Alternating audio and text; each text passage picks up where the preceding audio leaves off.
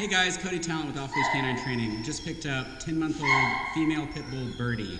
Uh, she's come to us for a two week board and train, so we're going to get her on the program. She pulls on the leash, uh, she doesn't listen, she's got some dog reactivity, and uh, she doesn't know any commands yet. So check back in with us in two weeks and you'll see her progress.